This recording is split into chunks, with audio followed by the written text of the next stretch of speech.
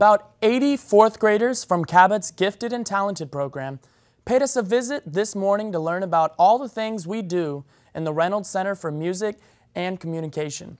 Students learned about the First Amendment, watched a drone fly around and participated in a film scene, explored the radio station, and tried their hands at our jobs.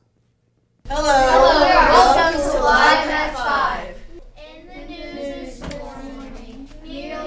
100 students from Cabot, Arkansas are on field trips. We are touring the we are touring we are touring the Reynolds Center to learn about communication and music departments. Rain likely, a high temperature of 58. Thursday, chance It's a 50% 50% chance. chance showers. Friday. Friday. It's going to be sunny with a high of 52 and a low of 33. Oh, we are here with sports. The Cabot High School Panthers football team lost to the Bryant Hornets this past weekend. On go yes.